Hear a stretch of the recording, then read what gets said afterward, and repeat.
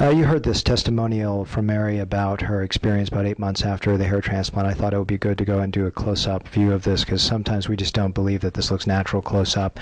This uh, entire hairline has been rebuilt from scratch. There was no hair here, and only this is her native hair. So this entire area has been rebuilt. This part, this part right here is probably maybe about 30% of her hair, but this is 100% uh, hairs we've transplanted.